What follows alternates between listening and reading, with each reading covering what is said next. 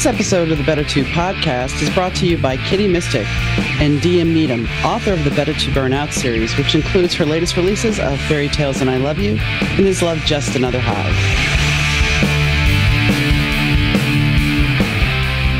Hi, and welcome to the Better Two podcast with DM Needom. I'm your host, Donna. Today I have the pleasure of talking to Australian country singer Chloe Styler. Chloe has a term called yeehaw pop that's what her music is categorized as. And it's a little bit like Lisa Loeb and Jewel to me, but I think you should check her out. And I think you should stick around and check out our podcast as well, because we talk about all sorts of things musically. You might have heard my voice hosting the Better Two podcast, but did you know I'm also the mastermind behind the Better To Burnout book series? The stories unravel the lives of Nigel Hartigan, the groovy bassist of Sambuca Fedora, the stunning singer model Ava Richards, and the suave record executive singer Russell Langford. Love, romance, and drama run rampant as their lives tangle up. But brace yourself, folks, because not every tale has a happy ending. Snag your copy today from most online booksellers. Hi, Chloe. How are you doing today? I'm great, thank you. How are you? I am fantastic. So, are you in Australia currently, or are you in Nashville? I am in Australia. I was in Nashville not too long ago, but I recently flew home and have um, been settling back into Aussie life. Okay. So, I take it that means that there's no concert dates coming up in the US then? No, not at the moment, but I have uh, just booked another trip to come back. Um, I suppose I'm kind of splitting my time between the two places at the moment. So I will be back later this year for some writing and some uh, finalizing of some recording that I did in my latest trip. Because I knew that you had you were over here working on some tracks, and when are and you're going to be releasing more singles as time progresses, and I'm sure you have more singles that you're going to be releasing. That's what you're going back to do is work on some more music. Yes, absolutely. So uh, I was recently in Nashville in June, and I recorded four songs, so an EP, and uh, excuse my voice this whole episode as well. I'm like fighting some kind of flu, which it's winter in Australia, so there's just all those yucky bugs going around. But um in yeah, in June I recorded an EP. So we got my vocals done, but we need to just finalize a few things before it comes out next year. So I will be back later this year to finish that all off. Nice. Now you you actually had the a meeting with uh, Luke Wooten back when you were 15 years old. Yeah. So my producer Luke Wooten and I actually met uh, it was a bit more informal than a meeting, I suppose. Um, when I was 15, I visited Nashville uh, with my parents for the very first time. And my dad had a friend that lived in Nashville who knew Luke and just connected us um, just as basically as somebody to know in town while we were there for a couple of days that um, maybe grab dinner with him or something. And uh, yeah, the next thing I know, we're going to the, the studio at Station West on West Iris Drive in Berry Hill. And um, that's where I ended up recording 11 years later. So it's a really lovely full circle moment and experience for me. And I, I'm just so grateful to have um, to have Luke in my corner and on my team because he's just an incredible producer. And I feel very, very fortunate to bring my songs to life with him. And that had to be pretty amazing, like you're saying, full circle, because when you have that moment where your position has changed, the dynamic of the relationship has changed because being a 15 year old girl, you understood a little bit, a little bit of the past. No, when you stepped into I, that studio, did you not think anything? I mean, yeah, I mean, when I was 15, we recorded some covers and then they're still, they're on like burnt onto a disc, a CD in my house. And um, I could pull them out if I really went looking for them. But um, I guess at that age, I, it was all just like a huge dream and like a, a, a bit more unattainable than I suppose it is now as I'm essentially like doing the thing and I'm, I'm playing music in another country and I'm doing all those fun things that I could only truly dream about at 15. So, um, it's it's really cool to look back on um, on those times and and that first meeting with Luke. And I also think 15 year old me would be so just she would lose her mind if she if she knew that like this was my third trip to Nashville in 12 months like just gone and uh, I'm working with Luke as a in a producer artist capacity and um, yeah it's just it's really cool. Life is cool sometimes. so when did you discover that you you wanted to be a singer? I was pretty young when my parents put me into singing lessons. I was about seven, and then they put me into the choirs and the the musical theatre productions at my school. Um, and from that young age, I just loved it, and I loved being dramatic and singing and all of those things that go along with being creative. Um, and my parents were, I love them dearly, and they really nurtured that in me and and um, taught me that there's no such thing as can't. So if I want to be anything I want to be in the world, I can. So I obviously chose a very difficult career and a very um, popular career choice for a lot of people and it's it's a hard one to break through but when I you know when I left high school I did actually go to college and I studied uh, a bachelor of business management and a bachelor of journalism but my heart was always pulling me back to to music and so I recorded an EP uh, when I was 20 and that was like the first the first taste of actually doing music as a as a career or as a more than just a hobby. Um, and I just loved it. And then I you know I immersed myself in the Australian country music industry and I did what we call the Tamworth Academy of Country Music here which is just like a couple of weeks where you learn about songwriting and industry connections and networking and and like live stage presence and performance t- tips and tricks and things that I had never ever considered. And so I suppose it was like my early 20s where I was like, okay, this is definitely what I want to do. But it was something that I've known since I was seven when I first started singing that I've always loved it. Well, and when you were talking about going to college, taking a business management course is one of the best things you could do because you don't want somebody else to dare I say, have access to everything that you do and make your decisions for you. And while it's nice to just sit there and say, okay, I'm a singer and I don't have to do this, you want you want to be able to know what people are talking about. Definitely. And I'm very grateful for those few years at college and having the business management degree. I majored in marketing. So that does come in handy when I'm doing all my cover arts and my music videos. And I do it all myself. I'm self managed and independent. And uh, I make all the decisions, which can be overwhelming at times. But I do think having that business degree that I can um, draw upon, and also the journalism degree comes in handy as well for for interviews and um, for you know I can read and write up a press release if I need. And my bio, I I've never had to get anybody else to write a bio. Like I just kind of do it all myself, um, which saves money in the long run, but also adds stress onto my plate because I probably could just delegate that, but I'm I'm a control freak, so what can I say? but, but, I mean, the the fact is, it's kind of like, did you set yourself up when you were go- thinking about college? Okay, if I take the business course and I take the journalism course, then this is going to actually help me with the singing because then I can market myself and then I can I can manage myself and I don't have to pay these other people.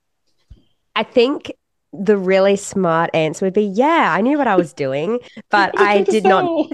I didn't know what I was doing. I graduated high school and my school was very academic and it was kind of um, a sense of, okay, well, this is where you go next. You go to college or university. And uh, that's what I did. I went to college for five years and I actually started out in a music degree. I was studying creative industries and majoring in music but I didn't really feel like I needed to study it to do it. So I that's when then that thought process came in and I was like, okay, well, if I don't need to study music, what can I study to help with my music? And that's where the business management um, and then the journalism was just really rogue and it was because I just really like I really like English and um, linguistics and those kinds of things. So I just really enjoyed that kind of I really enjoyed those studies, but I definitely don't use them.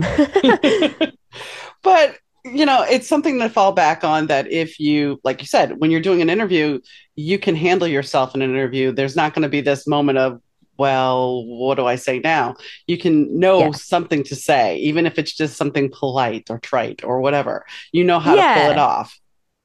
Yeah. And I suppose with journalism as well, uh, you know, that's looking for a story and writing a, writing a story or a piece on somebody or something and that comes in handy when I'm writing a song because sometimes I'm drawing upon other people's stories and and um and lived experiences that I might not have experienced yet uh, and at least I kind of have the the tools inside here somewhere buried back there somewhere of of how to really draw upon people's stories and experiences and, and draw it out of them and, and write a song.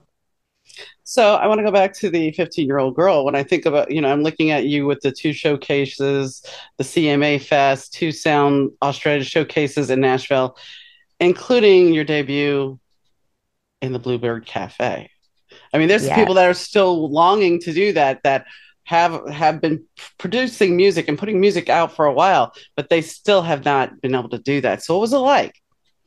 It was amazing. It was so pinch me. I just remember walking in it was it was my second time in there as like forever. I because I'd only been in once before to see my friend Phil Barton play um, on a trip earlier that year. It was last year that this happened, and uh, I walked in and it was still like all shiny and new, and I was just overwhelmed by the fact that I was in the Bluebird. And then they were like, "Okay, time to get on stage," and then that was overwhelming. Um, but it was overwhelming in like the best sense. I was nervous, but I really channeled that into excitement and just trying to soak it all up because it's so cool and there's so much history in those walls and the crowd are phenomenal. The people that go and watch a Bluebird Cafe performance know how to be an audience and they sit and they listen and they respect your stories and uh, they really, really, I suppose, let you have your moment. And I really felt like we all had our moment. There were four of us on stage and we all got a moment uh, in that round to to to show who we really are and, and also soak it all up because it might not happen again who knows? Um, but at least i can say i've done it and it was it was incredible. Well and it's such an intimate venue. Yeah I mean, it was like 60 people there or something. It, it's quite intimate. And those are rooms that i'm used to playing back home in australia. When i put shows on i perform to to those size rooms because in my my area we don't have uh, an we have really large venues or we have really small venues. There's not a lot of in between size venues. So I'm used to the intimate kind of size. So it was quite nice to be at the Bluebird where I was like, oh, I played to this like a month ago at home, but it's just entirely different and on, an un- complete other scale. I can imagine. And and so like when you opened up for Tony Hadley from Spandau and Tom Bailey from the Thompson Twins, was this an arena show or was this another small venue? They were theaters. Okay. So uh, the Tony Hadley tour was back in 2020, and I did five dates with him around the country.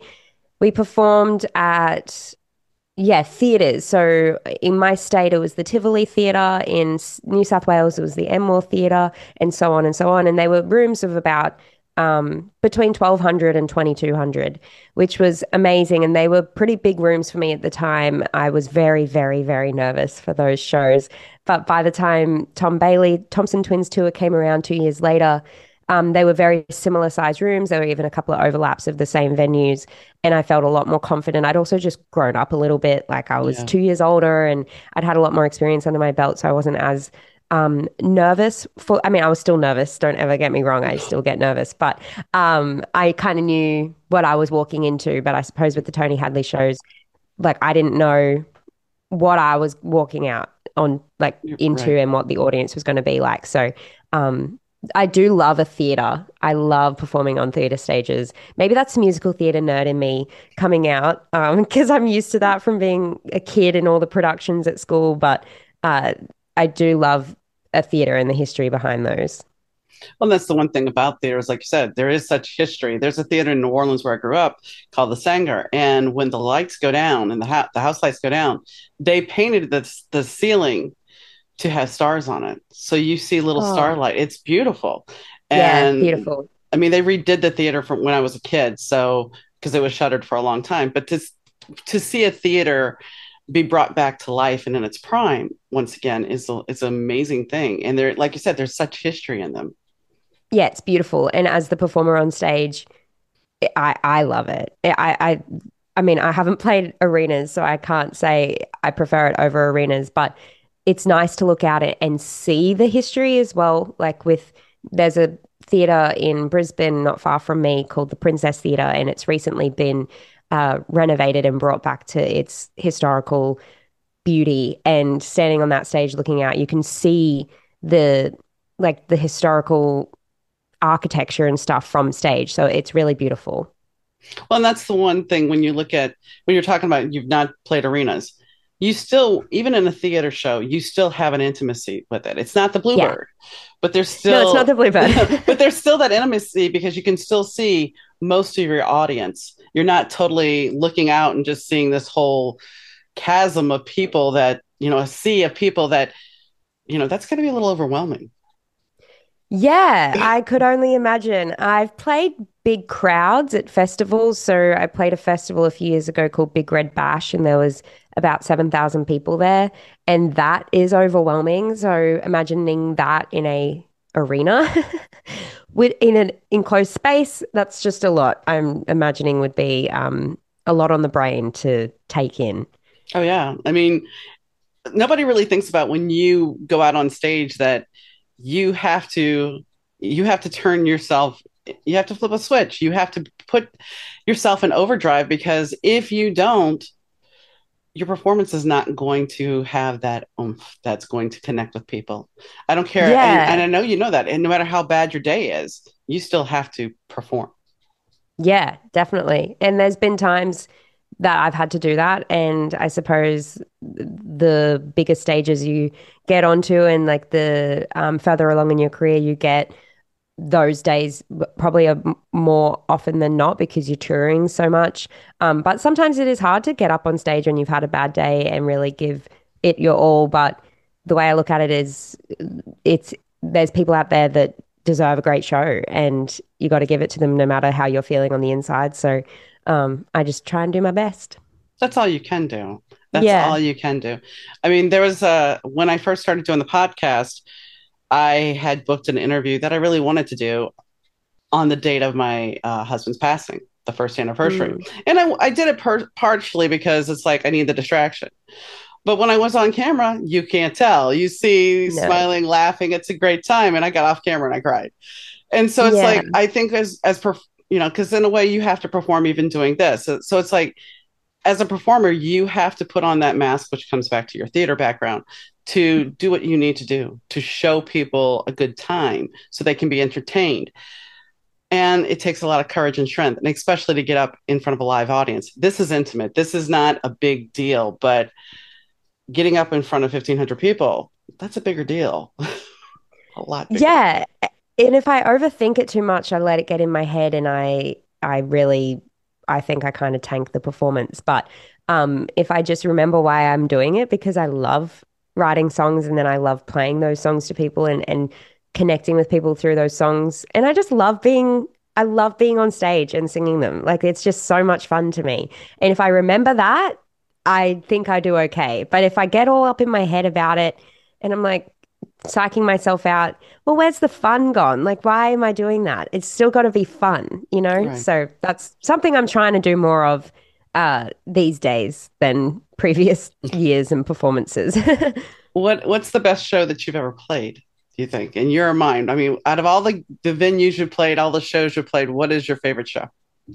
Do you mean my my best performance yeah. as a performer? Me, no, meaning your if you could go back in time to the one place you could play again to that moment, what would yeah. that be?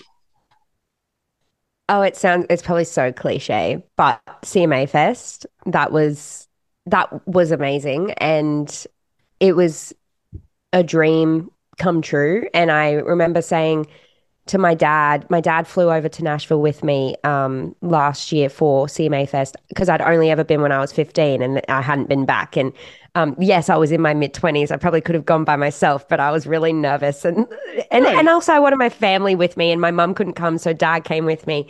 And I just the day before I, I did the CMA Fest performance, I just remember saying to my dad, you know, if nothing else happens in this career, like I'm happy because all I've ever dreamt about doing is performing in Nashville. And I got to do that with CMA Fest. And uh, yeah, I, I just, I will never take that for granted. And I will never forget that experience. And um, if the day comes and I'm playing a stadium show, that's so cool. But like, I just, that right. is that is just the most amazing experience for me getting an opportunity to perform in another country and sing my songs in another country, it, halfway across the, the world. Like that's just that's just crazy. So if I could relive that again, I would. Well, and you have quite the reputation. I mean, you've had success in your homeland, correct? Yeah, I suppose. And that is those little building bro- blocks over the last few years of having the success here is definitely what got me to where I was performing in Nashville and um, having that opportunity. So it's it's cool to see that growth over the years um, as a performer and as an artist and a writer and and getting the recognition as well. That's really nice as as independent and self managed because it's it can be lonely and I definitely cry to my parents about it a lot more than I probably need to. But um, it's yeah, it's moments like performing at CMA Fest or getting my Bluebird Cafe debut. Um, even like in my latest trip, I got to perform uh, and make my debut at the Listening Room Cafe in Nashville, which to me was a really big achievement because I've seen so many writers' rounds there and artists that I really admire performing their songs or, or songs they've written um, for other people at that venue. And that was a huge bucket list moment for me as well as a as an artist trying to do the Nashville thing as well. So um, there's just really cool things happening at the moment, and and I think I've just long winded answered your question that I would probably just relive everything. I would do everything again. well, that's the thing, you know, when somebody poses a question like that, you're like, okay, I got the moment in my head. But wait, there's more. yeah. But wait, so, all of them. Yeah, exactly. and even the bad ones, like even the performances where I feel like I didn't do my best or uh, you know, a, a show that might not have been the best opportunity for me, I would still relive them because they all still got me to here. Exactly. So, yeah. And that, that's the thing we sometimes lose track of. Even the worst things in our life led us to where we are and gave us the knowledge yeah. of who we are.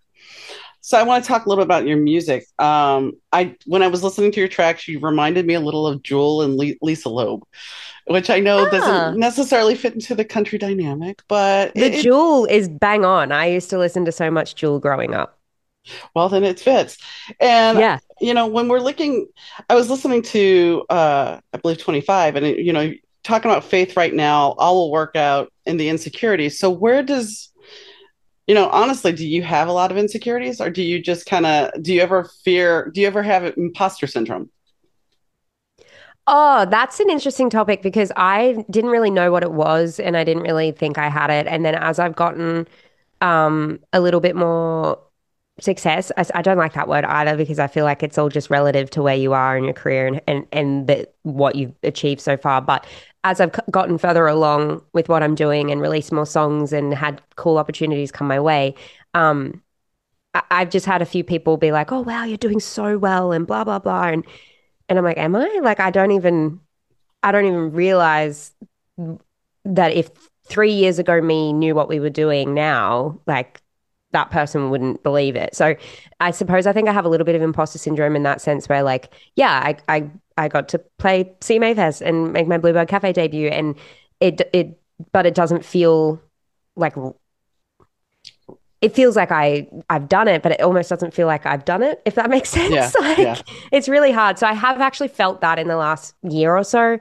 um, just with like lovely friends being like, "Well, you are doing really well." And it's like, am I actually? Because I cry a lot, and I'm I'm I'm not sure if I'm achieving what I want to achieve, but everything does happen when it's meant to happen and happens for a reason. Blah blah blah. So, um, yeah, I think that hopefully answers your question a little bit but in regards to insecurities yeah all the time like i i'm always second guessing what i'm doing always wondering if i'm making the right choices with what song comes out next or what i'm wearing in a music video or what the cover art looks like like i drive myself to the level of insanity that is unreasonable like it's so unreasonable for for just a cover artwork it's just ridiculous but I'll do it and I'll do it to make sure that I can live with myself when the song comes out. Um, so those insecurities creep in all the time, like the self doubt, comparison always creeps in whenever I see someone doing really cool things and achieving amazing things over here in Australia. I'm like, why is that not me? Or why have I not had that opportunity yet?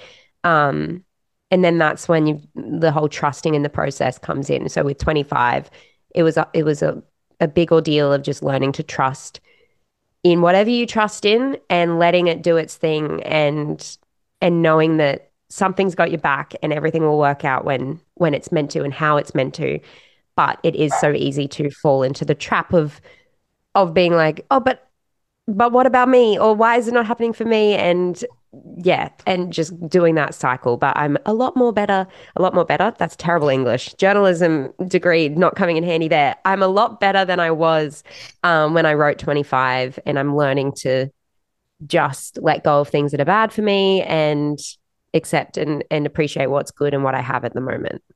I think, you know, the comparison thing, I'm an author too. So the comparison thing is a major thing that I get because you you sit there and you go, well, my book's good. Why isn't anybody, you know, what can I do? I don't want to spam the world with my book, but what do I do? And so then you start having doubts and you start saying, well, do I want to give up? Because there's how many other people doing the same thing that I'm doing. Yeah, that's huge, especially when I visit Nashville because it's just so obvious how many people are trying to do it um, and, and wanting to achieve the same things as each other. So that you can either get uh, like paralyzed with overwhelming thoughts of I'm never going to be good enough, or you just use it as an opportunity to be like, well, how cool. How cool that we all have the same dream and we're all so talented and we can all write great songs and um and just trust that if it's meant for you, it will happen it's so philosophical and kind of silly at times. But if I don't think like that, I'm just like, it's a mess up here in my brain.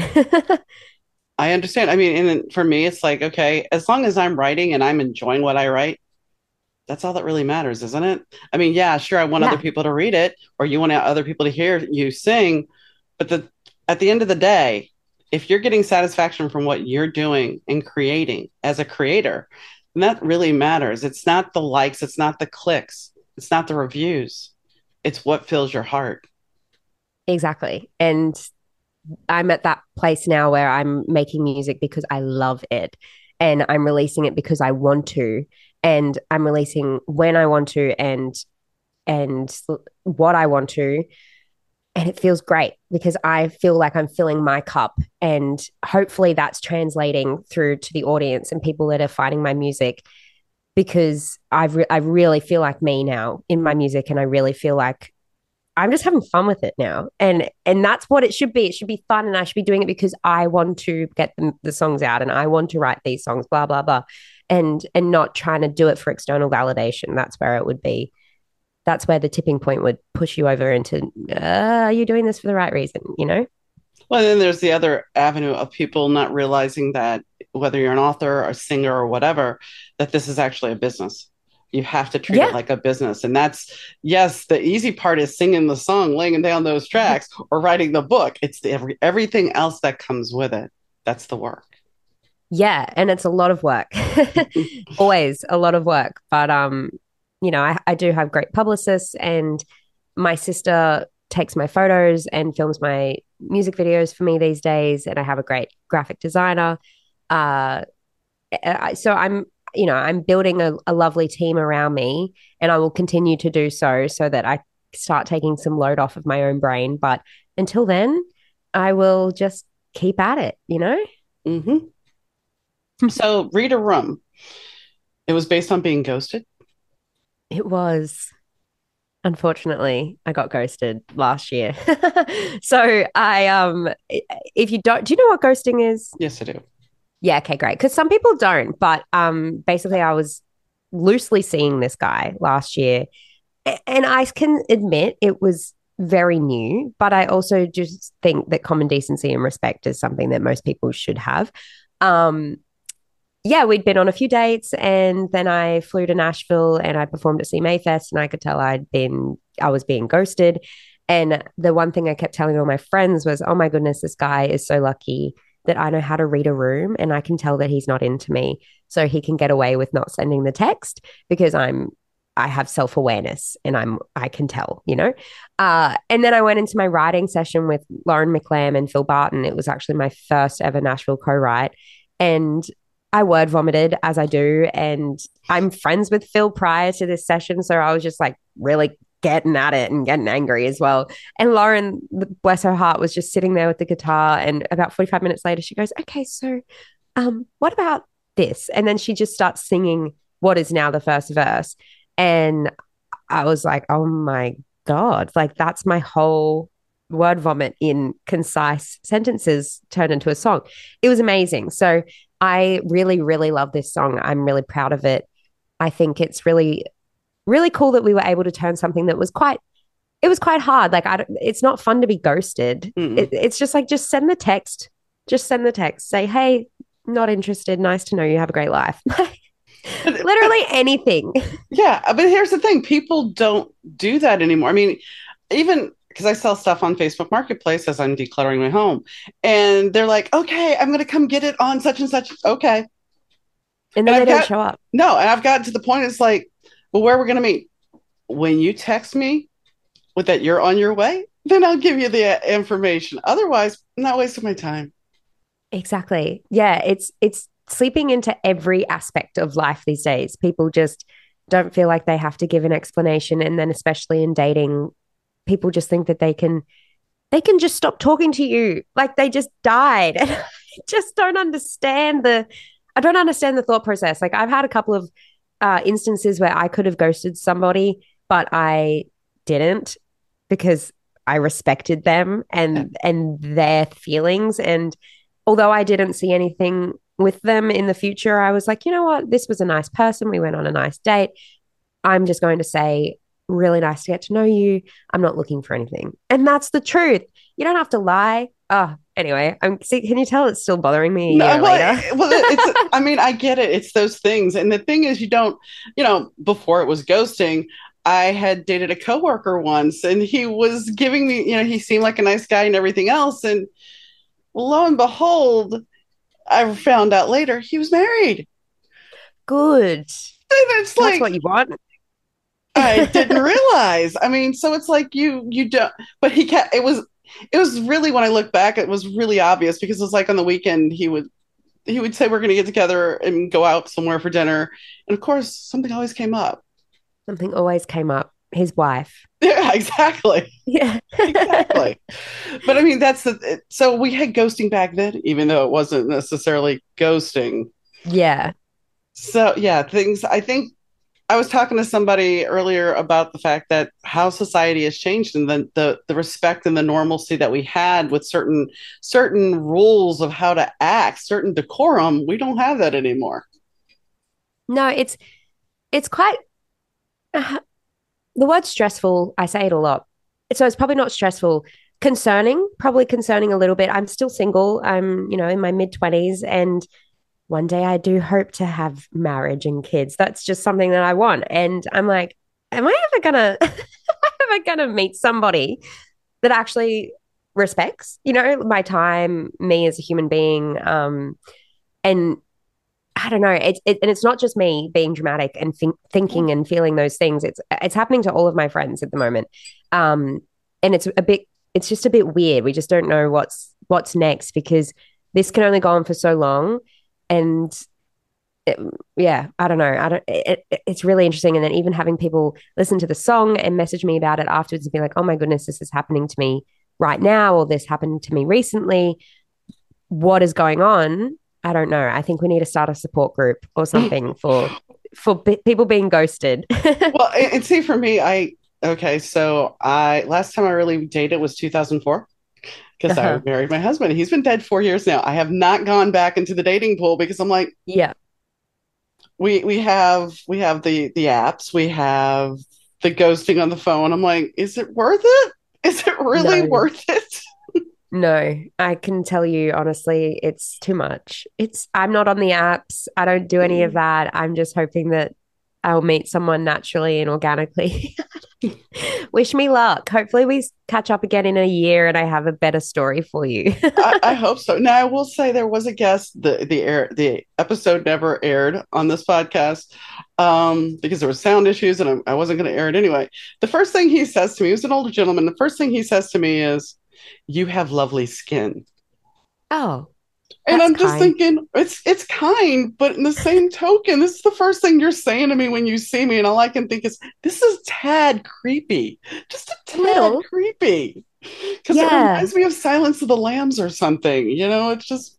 Yeah, I wasn't going to say that, but yeah, it's just a little creepy. But I can understand why it never got aired. he didn't say it on camera. No, later on in camera, he's talking about let's go get some absinthe in New Orleans, and I'm just like, no, thank you. No.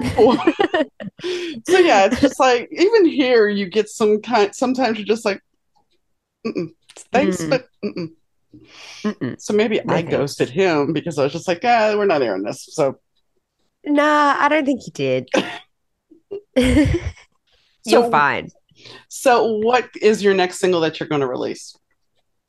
Uh, I have actually a song called Call It coming out pretty much just as this drops. And uh, it's about.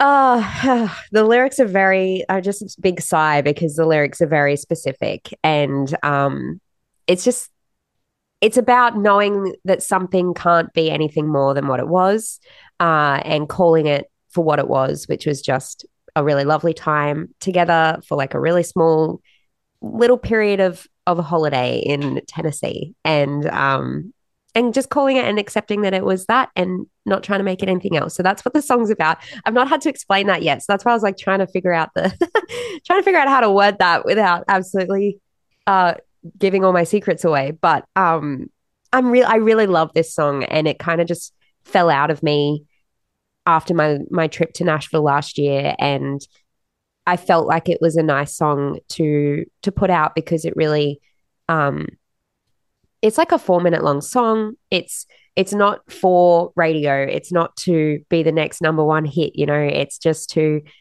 to invite people into my life. And also I know there's so many people that have little holiday flings and and meet people that they might think could be something else but you know it's never it's not meant for that. It's just meant to be something really beautiful and and short lived and accepting that it's that it's that. So i think it's just like a really nice a nice little song.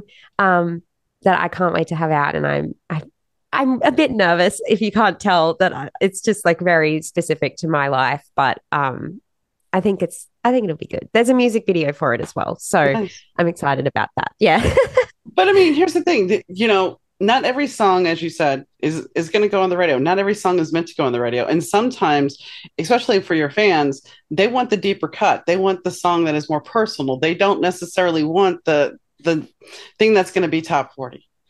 They yeah, well, they're going to get it with this one. They're going to get the deep cut, the real inside my brain kind of one. Um, which is where the nerves creep in. But I'm also like, you know what? I'm a songwriter and I exaggerate so many things for, for the song. You know, it's always based on true experiences, but there's a little exaggeration in there. It's fine. Like we all do it.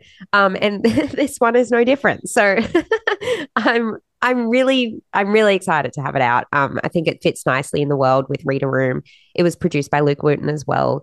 And um, it will lead into then my next single release, which will be coming out in early October. Okay. Well, what's, yeah. you know, when you're talking about exaggeration, though, social media, that is all it is. Everybody yeah. exaggerates their life. Nobody is living in turmoil. Everybody's got the glamorous life. It's like, yeah, crazy, right? That we just kind of accept that as is, but it's just so unrealistic. And, um, I mean, we're all guilty of it. I'm I'm guilty of it. I don't post when I'm having a bad day. I probably should. I just don't post. So anyone listening that goes like, why hasn't Chloe posted for a few days? Probably going through it, probably feeling emotions that I just can't be bothered dealing with um, on social media. Uh, but yeah, it's it's a very interesting time we're in. There's ghosting, there's there's social media highlight reels that just kind of show the good, never the bad. Um, yeah, and I don't know. It's it's kind of interesting to observe it all.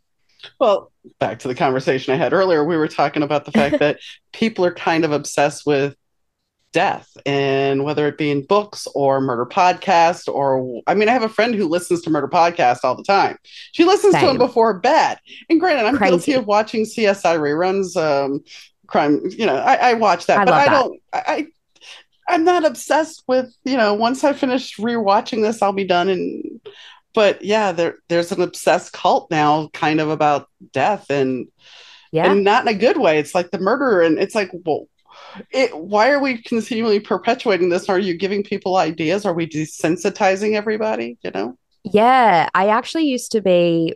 I used to be one of those people that listened to the true crime murder podcasts religiously all the time.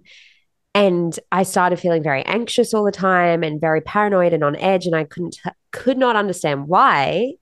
Silly. I wonder why. And then I would tell my therapist about it. And she'd be like, What are you listening to? Like, blah, mm. blah, blah. And I'd say, Oh, I listen to this new podcast. It's so good. It's about this guy that killed all these people. And she'd be like, You got to stop. So I, she told me to stop and I stopped and I don't listen to them anymore. And my life is a lot more peaceful. That's for sure. I do watch the occasional true crime documentary. I do find it interesting. Yeah. But I don't like I used to every time I got in the car, I would put a true crime podcast on. Why? put Nothing something like happy on. Nothing like sunshine and rainbows with that. Yeah, and then feeling anxious all day. Why would you put yourself in that mindset? But I can understand the appeal. It is interesting Yeah, it is. but in small doses. It is. I mean, it's it's interesting to see how their mind works and and things of that nature, but it's a little frightening because number one, you're creating that anxiety level in everybody because everybody's going to see somebody as being the potential killer. Uh, yeah, And number two, you're you're now programming your mind to focus on this stuff. yeah, definitely. And you know, when I travel, sometimes I travel solo, uh, and then because of all my history of listening to true crime, everything is heightened. and I, I'm just I should never have listened to all that because everything is everything that runs through my brain when I'm traveling and if I am alone, whoo you don't want to be living up there. There's a lot going on. Oh, I can imagine. Like, uh, you know, you looking at somebody. Oh, he looks shady. Is is, is Yeah. he? Yeah. Oh And yeah, Mhm. so I mean, and, and the thing is, it's bleeding into fiction as well because there's a lot of books that are coming out that are based more with with darker tones to it, and people are Yeah. okay with that. I mean, also you can you could almost say with songs as well. Uh, there's that Lainey Wilson and Hardy song "Wait in the Truck," Mhm. which is about. Have you heard that song? Mm-mm. it's about uh the Hardy character, like the male character, finds the Lainey Wilson female character on the side of the road. Um, and she's been beaten, and he doesn't even have to ask, and he knows it's a domestic violence situation, and then he goes and kills the guy. Okay. yeah, and like that's a that I think that went that would have gone number one, and it, it's a great song, fantastic song. But yeah, it it, it it's a, a violent song, so uh, I, I suppose that kind of death, um, murder, is seeping into songs as well. But it's kind of funny because, and I mean, over here we've we've been called out on it several times that violence is very much in our culture, but yet sexuality, no, we can't talk about that. Which Yeah. that's more natural, but over here, mm, no. Mm-mm. Yeah, that's true. I hadn't thought about that. We've we've gotten called out many a times in the United States about that, especially because Yeah, of wow. gun culture. Yeah, I'll have to look into it. I And don't know. I can't. It's kind of funny because I know the history of Australia, where where you guys are originally from. So it's kind of amusing that you guys don't have that reputation like we do, but yet allegedly you were formed on a penal colony. No offense, Oh yeah, but you know, the, Yeah. you look at this and it's like, well, what about us now? We're, we we are just a little bit outlandish over here at times. But anyway, we're not going to Oh. go there. so, as far as the next group of songs you're releasing, are you putting on a different EP again, or are you going to put out a whole record? So this year's songs are just singles and they will just stay as singles. Um, but next year, I will be releasing the EP that I've just recorded with Luke uh, in Nashville.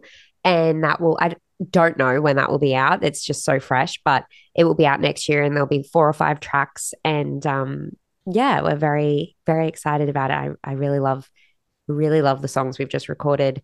I wrote them all by myself, which is, I'm really proud of that because a lot of my songs lately have been co-written, uh, which is kind of new for me because all my early stuff was just written by myself. But uh, I've been leaning into the co-writing a lot more lately. But these new ones that are coming out next year are all by myself, which is something to be proud of because I just wrote them in this room that I'm sitting in and uh, got my feelings out, and now they're fully fledged songs. So now that we're talking about your room, you have two guitars and a keyboard. So I take it you play all of these things. I do. Yeah. So that guitar there, it was $70 from my local music store. I bought it um, when I got home from Nashville last year uh, because I was very inspired and I love the sound of a nylon string guitar and I didn't have one. And purchasing it actually made a world of difference. And I wrote all these different songs on it that I don't think I would have written on my normal steel string guitar. Uh, and then that guitar uh, there is an electric and it's pink. And I um, I haven't actually ever used it live, but I ride on it quite a bit. And then I have my keys behind me, which um, I'm actually fully trained on the piano. And I did all the grades and all the music theory and stuff, but I never actually perform with the piano, but I do write on the piano quite a bit. And it's a lot easier to have a keyboard. I have neighbors uh, that probably don't want to hear a piano at 11 p.m. at night going through the wall that we share. So I'm sure. um, yeah, I do play. I do play, and I play acoustic when I'm performing. When did you learn how to play keyboard or piano? My parents put me into lessons when I was six. So I played, I had a lesson once a week, every week from six to 17. And I did all eight grades of piano um, exams and uh, just, I mean, it's not as rigid anymore and regimented. I don't um, sit down and play scales like I used to have to do, but I you know, I find myself sometimes just wanting to play the piano for fun. And um, I'm very fortunate and very grateful that my parents put me into piano lessons. I think it's such an incredible instrument and you can do so much with it. And it's just beautiful as well. And the history of it, oh, I don't know. I'm a history buff. I'd never studied history, but I just think the history of the piano is really cool. And of course, with the guitar, with any instrument, and if you learn it and you get the opportunity to, um, to be able to play it, I think it's pretty cool do you plan on touring anymore? Touring? Mm-hmm. Yeah. I want to get my music out there. I'd love to tour. Um, I, it's such an interesting topic at the moment because I'm looking at moving to Nashville. So, um, touring might put, be put on hold a little bit while I, um, try and figure out what I'm doing with my life. Uh, but I definitely can, I can play shows acoustically by myself and I can do support acts like that.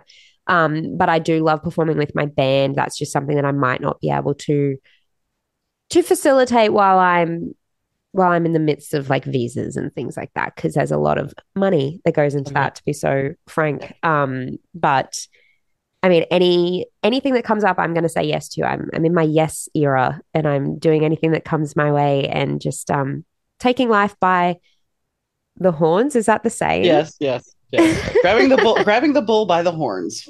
There we go. That's the saying. Um, so yeah, hopefully some more things pop up and I can keep touring all the support acts I've had this year. Um, over the last six months, I've literally had like less than two weeks notice for for those tours that I did, and they were like travel around Australia kind of tours. So who knows, maybe in two weeks' time I'll have something that I don't even know about right now. Possibly. I mean, that's one thing I when you you brought up the financial aspect of it, you being such the small artist with doing all the self-management, the financial aspect of touring and relocating, that all falls on you. And yes, that is time consuming. It's money, it's and as you said, visas. That's a whole all that red tape to go through is a big yeah. portion for you. Yeah, and I just think it's it. I think it's important to be candid about it as well because you know when I've I've started bringing up the conversation with my friends and my family and and hoping to relocate if I can. Um, some people go like, "Oh wow, that's amazing." I'm like, "Yeah, but yeah, but there's a lot that goes into it, and um, I'm probably going to be eating chicken noodle soup for like the next year and tuna and rice and not spending my money on anything else um if I do go with ahead with the visa process because it's it's not it's not the cheapest thing, but I love I love America and Nashville, and I think I kind of owe it to my 15 year old self to follow through with that dream and and give it a real go if I um if I can. So I'll I'll do that. I'll give it a go. so is your band based in Australia then? Yeah, my band is here, and I actually went to school with my drummer, and then um, we reconnected a few years ago when I started playing live uh, uh, in a band capacity. And then we just kind of found the other players, and they're all local to my area. And I love them to bits. They're just really great. And I I, I feel very lucky to have them in my band because they're just great guys and incredible musicians. And um, we do actually have a couple of shows over the next few months just around our city. And um, yeah, it's really it's really fun to play with them. So, do you think any of them would lo- relocate with you? Oh no, I wouldn't even ask them that. They'd be like, "What are you talking about, Chloe? We've got a life here." So, um, no, they've got they're in like my drummer and my guitarist are in their own band called the Vultures, and um, then I my uh, bass player is a session guy and he's a producer and he has his own things going on. So, um, no, absolutely, I wouldn't even I wouldn't even expect it of them, but I think they'd come visit for sure. They'd be like, "Show us Nashville." and I'm sure you wouldn't have a problem finding a band in Nashville. No, something in my, something tells me that I think I'd be okay with that. I think there would maybe be some musicians there. maybe just some, just a maybe. slight chance. slight yeah. chance. So, what would be your dream gig to play? Ooh, uh, the Opry. That's what I figured, but you know. Yeah, that's just like hands down. That's or the well, the Opry and the Ryman uh, are huge, huge dreams. So one day, hopefully, we can we can catch up again, and I can tell you I'm making my debut. Um, yeah, just the thought of that is so cool. I've done the tour with my family of the Opry, and then I did the self guided Ryman tour by myself last year. And when you're at the Opry, you can choose to walk in the circle, mm-hmm. and I've not done that. I've not stepped in the circle. I'm like, no, I don't want to jinx myself. so we'll see. As a singer, I can see why you wouldn't want to do that. Did you did you ever watch the show Nashville? Yes, I did. I think that that is um, to be expected of someone like me, probably um, an Australian that doesn't like. I think I don't know. I don't know if Americans or people that lived in Nashville watch Nashville, but I mean, I definitely did, and I, I loved it. it. And okay, great. It's such a good show. it, it was just, and then I rewatched it last year when I came home from my trip in June, and I think I sent myself into a depression because I finally like knew Nashville mm-hmm. and I knew actually recognized a lot of the places as well. And I was like, wait, I went there and I did this and that and that and that. And then I was like, oh, and now I'm back home on the Gold Coast and I'm 9,000 miles away from from here, but that's a real place and I've um got a taste of it now, so you kind of like get the bug and you want to keep going back. It's it's not good. so did did the show do Nashville justice? Ooh. I feel I'm not qualified to answer that question, but um I I loved the show and it was cool to be able to when I was in Nashville be like, "Oh, like that's that and that's that." And but I'm not I can't I'm not qualified. I Fair enough. Fair enough. Fair I don't want to step on anyone's toes. Fair enough. Is there anything that we haven't talked about that you want to add? I don't think so. I think we've had a really lovely chat and I'm yeah, I'm just really grateful for your time and hopefully we can catch up again one day and um, have some maybe I'll have some exciting exciting news to share. Maybe my EP will be out. Who knows? Who knows? And yeah. I would love to have you back. That'd be great. So thank, thank you. you. Hey, Donna from the Better Two podcast here. If you've listened to my show, you know that it always sounds great. That's thanks to the guys at Third Ear Audio Productions. Third Ear Audio helps podcasters, broadcasters, musicians, and business owners get their important messages out to their audience. Rich and the Third Ear Audio team are easy to work with. They're efficient and understand that your message is important to you. With quick turnaround and the true caring of your needs, Third Ear Audio is your go to for any audio message. Reach out to Third Ear Audio at 312 388 5596. Rich and his team will deliver for you. That's 312 388 5596. Or you could email them at info at thirdearaudio.com or visit them on the web at www.thirdearaudio.com. Chloe, I think she's got a bright future. Uh, I wonder, you know, we were talking a little bit about off air about moving to Nashville and hopefully that move goes well. And if not, if she decides to stay in Australia, that doesn't mean she can't go back to Nashville and perform and actually do touring over there. So I look forward to seeing where her journey is going to take her because I mean, I can imagine, you know, she's been doing this since she was six, seven years old, singing, and this she discovered this is her passion.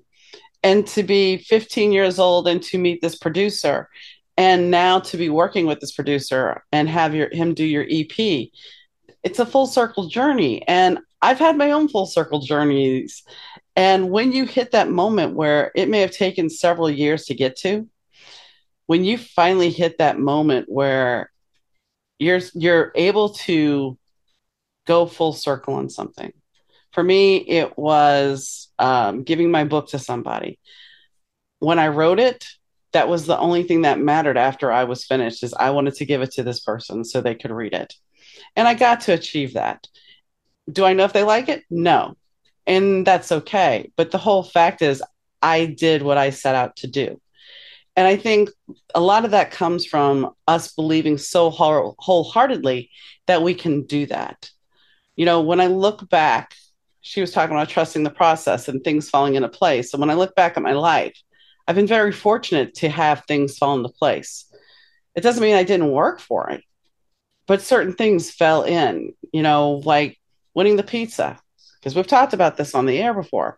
Winning the pizza and then becoming a disc jockey. It wasn't something that was like, okay, I won the pizza here, and then next week I was on the radio. No, it took me going into the radio station and Todd showing me how to do things, how to program, how to pick songs.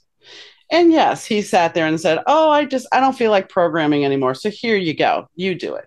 And granted, that doesn't happen nowadays as far as programming. The station is pretty much programmed itself you know, by the computer. It's all taken care of by whoever's programming the computer. But at the time, I had to put in that work to get to be to do what I needed to do to become a disc jockey. And I think that's when we kind of lose track on things. Yeah, she got to she she had that 15-year-old dream of being a country singer. But there's been a lot of work to get to where she is. You know, she's in her 20s now and last year she played CMA Fest that's a lot that's a quite a bit of time that she had to put in the work she had to practice she had to write songs she had to build an image so when you look at things everything whether it be a chair in your house think about all the moving pieces that come in there your phone think about all the pieces that are there not everything is simple and i think we have learned so much that we look at the aftermath success happens, yay. We don't look at the work that is put into it. We don't look at what the creative has done to show you how to create that song. We don't see all the work that went into writing those lyrics and putting all the music together. We don't see what goes into making that television show. Sure, if we watch the the the documentary, sure we can see that. Sure, the clips behind the scenes, yeah. But that one hour show, or maybe not even one hour, in some cases, it's 15 minutes. You're not seeing the months that went into it or years. Because sometimes, especially like production for a movie or writing a book, it's going to take a lot longer than that. And so you have to really appreciate all the work that goes into it. And while I brought up the murder podcast, I understand it's a it's a thing that everybody's listening to. I get that. But I also have to step back sometimes and ask, how does it affect your life? And I mean, Chloe was talking about the fact that it was raising anxiety for her. And I don't think anybody thinks about that. You know, why is my heart racing? Well, but I drank a pot of coffee. I don't drink coffee, but you know, there's there's a lot of times and this goes back to looking past just the instant part. You know, there's a lot of times that if we actually sat down and really looked at the bigger picture, we would see why maybe we're anxious. We would see why we're worried. And fear is a big thing, especially with your success. You know the artist that creates things we get fearful. We we what if you don't you don't like it? And you have to say it's okay. So don't get caught up in the anxiety of fear because that's the one thing about that podcast that we are we're talking about. If you're watching that constantly and you're desensitizing yourself and then you start to see the boogeyman in every place you look because this guy was a normal guy and all of a sudden he went psycho you're never going to look at people the same way. You're never going to trust them enough. And you're going to start worrying is this next guy or this next woman that pulls up next to me in a car, is she going to go off the rails? So if you're feeling anxious and you're listening to this, think about that for a second and see what happens. There's certain games I can't play on my phone because it makes me anxious. But I realize that and I stop. So, how did I get off on this tri- diatribe? It's because we were talking about the murder podcast. And like I said, I watch CSI. Hmm, granted, it's reruns, but I still watch it. And I know if I need to, I can stop at any time. So be a little bit more aware of what you're what you're consuming at times. And if it feels like it's not right for you, whether it be food or whatever, do yourself a favor and take care of you. So, on that note, I'd like to thank Chloe for being on the podcast. I'd like to thank Rich Zai from Third Year Audio for doing the audio as well, and Fast Susie for the music. And most importantly, I'd like to thank you for tuning into the podcast. You're listening well, that's part of the reason why I do it. Not to mention, I get to talk to some really cool people. But on that note, I wish you, whenever you're listening to it, whether it be morning, noon, evening, night, the weekend, whenever, I appreciate you and thank you for tuning in. And I'll catch you next time, guys. Bye.